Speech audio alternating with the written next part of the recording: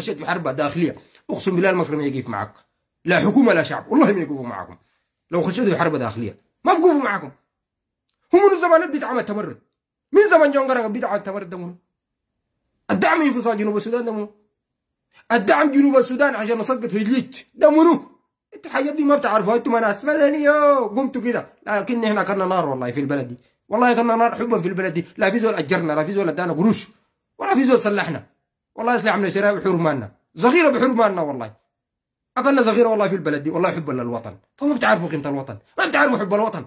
منو كان داعم الحركة الشعبية والحركات المسلحة؟ تجي تسقط هجيج منو؟ دعمها مصر والله. دعمها مصر. والله يتحداكم. آليات مسكناها. أوراق مصرية والله مسكناها. مدرعات مصرية أقسم بالله مسكناها. مصريين عديل والله مسكناهم. والله يحلف لكم بالله. مصريين مسكناهم. حبش ذاته مسكناهم. في تحرير ده. أنا بقول الكلام ده ليس افتخار لكن الله عز وجل يشهد به. كلامي ده إذا صادق أو كذب يشهد على كلامي ده. منو كان داعم والتخريب اللي في ده ملايين الدولارات. لأنه حرقوا حرقوا المنشآت النفطية. دمرها كل كل دمرها كلها. ما خلوا فيها حاجة مسوقه كانت دولة مصر دي بغير تسيسي هو الداعم يا أخي. هم الداعمين الداعمين للحركه الشعبيه جنوب السودان وداعمين لكل حركات التمرد كان. وغزو هجليت فعل ما فعل بها. وقبل هجليت في حتة اسمها الكهرباء بتعرفوها؟ ما بتعرفوا المناطق دي. دي مناطق أنا سرحت فيها بالبقر. سرت فيها بالبقر يا أخي. أمرق من بابا نوصل المجلد دي. صيف لما نصيف في بانتي وأنا صيف في ركونه أنا صيف في منقى شت بالبقر ساي بنعرفها عديل بنعرفها عديل بدون مواصلات وبدون معرفة. بنعرفها. هل تعلموا النفطي معظم مع حدود الجنوب كله تم تدميره؟ لحد الكهرباء؟ أنتوا ما عارفين الكلام ده. في السودان بيعرفوا حدودهم مع دولة جنوب السودان. هجليج بس. ما هجليج يا زول. حدودك لحد حتة يسمى الكهرباء. بعيدة من هجليج. ساعتين ونص بل لاند كروزر. وراند كروزر بل ساعتين ونص. دي حدودك هناك. أنا ما عارف دي بيساوي كم كيلو. دي حدودك. وثمانية ساعات ونص بكراعك. من هجليج لحد حدودك. في الكهرباء هناك. تم تدمير المنشآت كلها هناك. ده ابو البترول ذاته هناك. وده ابو التاسيس هناك. هجليج دي عبارة عن مجمع. وعبارة عن محل الموظفين بس. محل الموظفين ومحل بتاع تحكم للبترول. تم تدميره شت على أيادي جنوب السودان والحركات المسلحة. بدعم مصري يا أخي. ومهندسين مصريين أقسم بالله. دي مصر الآن بتخرب السودان. مين اللي خلق مصر بتخرب السودان؟ انت دار تقف لي معاها وتخلي المصريين تاخذوا أرض السودان لضرب أثيوبيا. أثيوبيا نضربها نحن كسودانيين. خلينا نقعد إن شاء الله ما عندنا إمكانيات ذاتها. إن شاء الله قال لك تكسحنا تمسحنا نهائي نحن موافقين لكن ما تخلي مصر العميل الخاين المدار لك مصلحة تتخذ أراضيك. مصر يا يوم دارت مصلحة للسودان. مصر انت رديتها وبنت لها سد العالي دمرتك وغرقتك وكهرباء وتوصل عليك. وبعد بتسرق في مواردك. بعد شالت أراضيك وجنست شعبك يا أخي. دي مصر يا أخي. مصر هي اللي كانت بتدعم الحركات المسلحة في دارفور. أتحداكم والله. وعندهم مدرعات مصرية. انقلوا الكلام ده. مصر هي كانت دعم لانفصال جنوب السودان. مصر عمرها ما دارت خير للسودان. وريني أثيوبيا. أثيوبيا دي كانت بتدعم الحركه الشعبيه تدعم الحركه الشعبيه جناح الحلو وجناح مالك عقار. دي ما دار أي كلام. وبتدعم حتى جزء بسيط جدا دعم بسيط جدا لجنوب السودان كان. لكن ما نفس الدعم المصري. كلهم أعداء بالنسبة عندي أنا كسوداني. كلهم أعداء عندي. مش اتخذنا أثيوبيا عدو مصر ذاتها عدو. دارين تحلوا المشاكل بطريقة دبلوماسية سياسية؟ حباب الدبلوماسية حباب السياسية. دارين تعادم نعادم شت دارين تخلهم نخلهم شت لحد ما نظبط أمورنا. ويكون عندنا حاجة وسيلة دفاع عسكرية. والله نكسح مصر ونكسح اثيوبيا في يوم واحد. بجاي يا أقسم بالله جيشين. من الرمم ديل والله نطلع منهم جيش. لأنهم كلهم القوش التعابه ديل رغم منهم اجرموا كلهم شت كلهم ما تقول له جيش بوليس دعم سريع حركات مسلحه كلهم اجرموا في البلد دي الريمهم دي لكن نطلع منهم جيش. والله نركب اثيوبيا في يوم ونركب مصر في يوم واحد. كلهم والله نركبهم في يوم واحد. داير يمشوا كده داير يمشوا كده. يموتنا سودانيين يعيشنا سودانيين يحررنا كسودانيين يا انضرنا كسودانيين لكن ما نبقى دلاليك ساي نبقى تجارب يا أخي. ما نبقى خونه عملاء ضد بلدنا يا أخي. ظنا من المصريين حيحمونا حيعملوا لنا حاجة؟ يأتي يوم إسرائيل ولا أمريكا اتخذت أثيوبيا قاعدة لها وجاءت ضربت السودان. السيارات والباخرات تم تدميرها في بورسودان كان الطيران جاي من وين؟ جاي من حلايب وشلاتين. جاي من حلايب وشلاتين. أتحي سيطرة المصريين المحتلين منك. مصنع اليرموك تم ضربه. من إسرائيل. الطيران جاء من وين؟ جاء من حلايب وشلاتين. أرضك المستعمرين المصريين. واسي دار تتحالف لي معاهم وتجيبهم في أرضك. قال عشان تنتقم من أثيوبيا. يا أخي ده, ده والله اسمه رقاط والله ده رقاط والله ده جيبونه يا أخي ده عار يا أخي عار يا أخي ما بيشبه الإنسان السوداني. والله ده عار ده عار والله. والله أكثر ناس انفنقستوا لمصر والله يا هم ديل النخب دي أقسم بالله أكثر ناس انفنقستوا أكثر ناس انفنقستوا والله. والله البشير المجرم أقسم بالله ما كان راقد لمصر البشير مجرم أما تخلونا حي البشير ساي يا أخي. والله ما كان راقد لمصر والله ما كان منفنقس لمصر. زول مجرم لكن ما منفنقس لمصر. والله حاشي مصر. والله كاتم لهم والله والله بيزيون في الإعلام علني.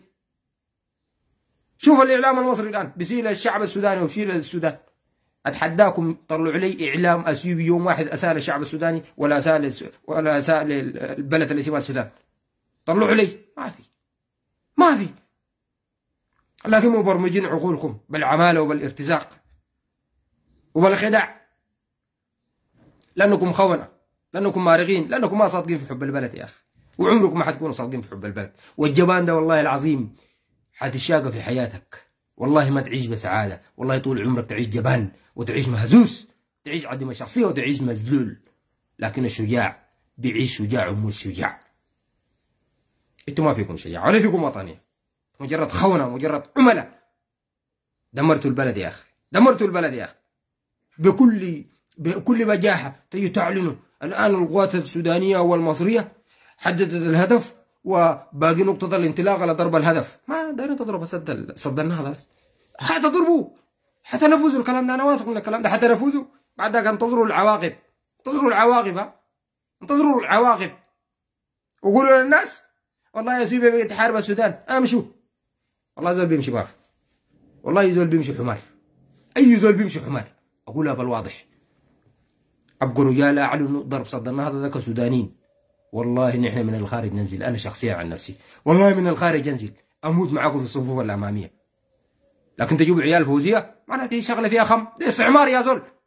خلي عيال فوزية ديل يحاربوا لك يدافعوا لك مع اثيوبيا مش أنت جبتهم؟ وهم خربوا علاقتك مع اثيوبيا بدل الحوار. بقت بالبندقية؟ مش. أنتوا كسودانيين مش علاقاتكم. عفوا مشكلتكم بدل بالحوار تحلها بالحوار. أصبحت بالبندقية والبندقية طلعت من مصر اتخذت السودان ارضا لها ومشت فقط البندقية في أثيوبيا. الله خلي المصريين دي يحموك. خلي المصريين دي يحموك لما تداوس أثيوبيا خلي المصريين يحموك. والله لو يجوا يحتلوا السودان ما بنزعلوا أنا شخصيا ما بزعلوا لو يجوا يحتلوا السودان ما بزعلوا من نهايه خلوهم هم يحموك. لأنه قلنا لك لو دايره بالبندقيه خلينا نبدأك السودانيين بس. ولو دايره بالحوار أبدأ حوار سوداني أثيوبي. خد مصر برا يا ما تخلي مصر تتحكم فيك يا علبة. ما تخليها تتحكم فيك. بديتها بالبندقية؟ بتلقانا معاك. يا متى برهان يا جبان. لما قلت داير مقاتلين من كل قبيلة. لا يا شرف والله قبيلتي جوك 3000 وقتي تطوعا بس للوطن ده. وقتي جوك 3000 واثق من الكلام ده أنا. نقول الكلام ده. جوك 3000 وقتي قالوا إحنا جاهزين. كل القوى الفشقه جوا. لا داري من القرش ولا تعريفها. أدينا الذخاير بس. جواب سلاح حمزات قال لك أدينا الذخاير بس. يلا لكن الدوره دي وقت اتخذت المصريين. أبقى دي خلي بعد الأزمين يبلوك خلي المصريين يدافعوا عليك خلي المصريين يجيبوا لك جنود. والمصريين في عاصفه الحزم مياخذين أكثر منكم يا مرتزقة يا رمم. في عاصمة الحزم المشاركة في اليمن المصريين مياخذين قروش أكثر منكم. والمصريين مشاركين جوا بس ارضا ما في. أي بمعنى مشاة قوات مشاة ما في. المصريين ما عندهم قوات مشاة ومياخذين أكثر أما السودانيين جوا وارضا أنتوا المرتزقة نمبر واحد. وإنتوا الأعداد الكبيرة رقم واحد. وبعد ما يدونكم رخيص. في البيع إنتوا بتبيعوا رخيص فاشلين. والله في البيع إنتوا فاشلين. في البيع إنتوا هوانات صاجمانين. بمعنى كلمة. في الارتزاق إنتوا فاشلين. مصر مشاركة بالجو في عاصمة الحزم في اليمن ومياخذ الدولارات أكثر. والراتب حق الجندي المصري أكثر. السودانيين مشاركين كمرتزقة في في الأرض. وأكثر ناس إنتوا قاعدين تموتوا. هم ياخذين ابو الرخا بايعينكم ابو كلكم بايعينكم ابو والبيعه دي باع برهان ده. برهان ده هو الباع ما تقول لي البشير. لأنه برهان كان المسؤول عن القوات المسلحة في اليمن. وعنده مكتب في اليمن وعنده مكتب في الإمارات. قبل ما يضيفوا له الدعم السريع في 2016 وأصبح مسؤول من الطرفين. كم مسؤول منا هناك. في البيع ديتو فاشلين. في البيع ديتو حوانات. في البيع ديتو صجمانين.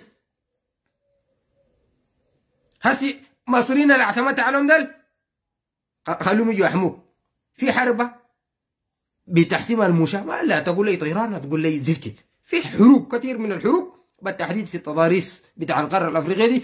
الحروب دي ما بتنحسم إلا موشى. إلا موشى. ما بتنحسم إلا موشى. ما تقول لي سلاح جو لما نجوك موشى أبقى راجل أحسبها. يلا. وأبقى خلي المصريين يكونوا معك والله لو تموتوا تبقوا بترول. المصريين دي بيركبوا طائراتهم. شاك شاك شاك شاك. بيقدوا بيرجعوا. أنتوا تقعدوا بترول بس. تقعدوا بترول بس. وبعد شوية صغيرتكم تقطع. والله زول بيمدكم بذخيره ما في. لا برهان ولا حميتي ولا حمودوك ولا فشلوك ولا عمبروك زول بيمدكم بذخيره ما في. حيدنقروا بس والمصريين حيكبروها منكم. أبقى قدرها يلا. أبقى قدرها الله البل جايكم. ما بتستعطف أنا شخصيا كمواطن سوداني والله ما بتستعطفوني بحرب أثيوبيا. لما نقول لكم حرب وكاله لا لا ما حرب وكاله دي أراضينا. أضرب أنت. حلاوة شلاتين دي. حلاوة شلاتين دي في إسرائيل. ها حلاوة شلاتين دي في إسرائيل؟ الفشق اراضيك لكن حلاوة شلاتين ما اراضيك سد النهضه الملت مصر وغرق الناس وهجر الناس. ما عندك فوق فرفرة لكن سد النهضة عفوا السد العالي. الملو وغرق الناس وشرد الناس. ما عندك فوق إشكالية. لكن سد النهضة عندك فوق إشكالية. تبا لك أسي لو اتفقتوا كسودانيين حوار مع سوريا قسما بالله سد النهضة ده نحن كسودانيين نستفيد منه. والله نستفيد منه كهرباء مجان نتفق مع سوريا تملى سدة في سيعة معينة. في سيعة معينة. لا تضر بالسودان ولا تضر باثيوبيا لا تضرب السودان ولا تضرب اثيوبيا والكهرباء مجان والله الاثيوبيين يوافقوا والله الاثيوبيين يوافقوا هسه عيال فوزية ديل في الوقت الحالي ده. سبحان الله. عشان تعرفوا نفسكم اغبياء والله في الوقت الحالي ده. لو السودان اتفق لوحده مع اثيوبيا عيال فوزيه ديل مش يجوا يبقوكم أنتوا عملاء ومش استعبدوكم ومش اتخذوا أرضكم لضرب اثيوبيا ديل لو قلت لهم فنقصوا عديل بيفنقص لكم. لو قلت لهم الحسوا لنا باعرنا دي بالحسوا لكم عيال فوزيه دي هم المحتاجين لكم يا أخي هم المحتاجين لكم. لكن موقف بطولي موقف شجاعي عندكم يا رمم اتحدى أنا الحكومة دي عملوا موقف شجاعي بطولي. قولوا ما دارين أي تدخل مع مصر. مصر أمشي حلوا مشكلتك مع اثيوبيا نحن كسودان نحل مشكلتنا مع اثيوبيا وأمشي حوار سوداني اثيوبي أقسم بالله مصر دي تجي تفنقس لكم يا شعب السوداني مصر تفنقس لكم يا حكومة السودان. تفنقز لكم. مصر المحتاجة لك. انت المحتاج لك؟ لأن أنت عندك فرصة كبيرة جدا وفرصة سهلة جدا حلها. تتفق مع اثيوبيا تملى السد بطريقة لا تضر السودان. والموية عندك بتجيك. النيل ده بيجيك. لكن عيال فوزية. نحن ما عندنا البلف. والله نقفل البلف ده بتاع النيل ده أقسم بالله. الله المصريين دي اللي يشربوا موية البحر الاحمر البحر عفوا البحر الأبيض المتوسط موية الملح. الله اللي يشربها هي والله يرقص رجال عين. والله رجال عين يرقصوا لنا أقسم بالله يجروا ورانا. والله يسبقونا يا بيه. والله الكريستال حقت الموية دي نبيع لكم بالدولار. الكريستال حقت الموية دي نبيع لكم بالدولار يا عيال فوزية. نبيع لكم بالدولار عشان نوريكم ذات التفنر ولما ترقدوا ذاته. ولو رقدتوا وافقتوا بعدك بندوكم لا مجان نوريكم الكرم السوداني ذاته نقول لكم شو الموية مجان. بندوكم حصة كده. لكن أوعى تتدخل في شؤون السودان. نوريكم بأنه نحن بلد زي السياده مش بلد زي تسيدوا أنتوا وتقودون أنتوا وتلعبوا بين أنتوا يا دلاليك. لقوا الدلاليك دول كلهم دلاليك. ساي. كلكم دلاليك. سايق الحكومة دي كلكم دلاليك. كلكم دلاليك. ما في راجل ما لقاش والله. الراجل ما لقاش وما في أنا اليوم ده والله قنع منكم نهايه والله ماكو رجال نهايه لأنه الراجل ده بيصار في محل الصعاب. كلكم مدنقرين زي النساوين والتحية للنساوين ذاتها يا أخي. ضد ظلم للنسامي ده لكن مدنقرين زي الخنازير. لأنه خنزير لا يغير عن الأنثى حقته يا أخي. داير أنتم ما عندكم قيره على البلد. ما عندكم قيره على البلد يا رمم اتخذوا قرار اتفقوا مع اثيوبيا قبل ما تخشوا معاه في حرب اتفقوا معاه بالحوار اثيوبيا قال اي نحن كسودانيين. مصر السودان الشقيقة يا با يا بي يا باشا عمل إيه النهارده؟ ونحن كإخوة ونحن كأخوات. تعالوا خلونا نجتمع ونواجه اثيوبيا النهارده. كان اثيوبيا واجهنا مش ما بتلقى والفوزية معك. والفوزية ما بتلقى معك. قول لي يا زول عندك مشكلة مع اثيوبيا في مجلس النهضه أي يهديك اثيوبيا إنت دولة. إنت دولة اسمها مصر. نحن دولة اسمها السودان. أمشي حل مشكلتك مع اثيوبيا وأنا بحل مشكلتي مع اثيوبيا بس. لكن مش اتخذوك أنت كدرع. اتخذوا أرضك كدرع ك... ك... كمغار عسكري. عشان يجيب لك العداوات. ولو في عقوبة دولية عديلة. العقوبة بتجي للسودان ما بتجي لمصر خدوا الكلام ده في راسكم. ضرب صد النهضه لو في عقوبة دولية حتجي للسودان ما حتجي لمصر لأنه أرضك. تستخدم أرضك. أنت رضيت بأرضك. تم استخدامها لضرب الآخرين. رضيت بأرضك. كدولة. سمحت لدولة ثانية استخدمت أرضك. دي ضربت دولة ثانية. العقوبات بتجيك أنت كسوداني. ولو في ضربات جوية من اثيوبيا بتجيك أنت في أراضي السودانية. ليه مصر دي ما تضرب؟ من من مصر دي تمشي تضرب صد النهضه ده؟ هذا كيف؟ ليه بس اللي السودان؟ دار تورطك معك دار تورطك انت أكثر من تورط نفسها. دار تشغلك انت بحرب مع اثيوبيا وهي هناك في حلاوه شلاتين جنست الناس وبتسرق البترول والذهب واليورانيوم زي ما عايزة. ما تفكر في حلاوه شلاتين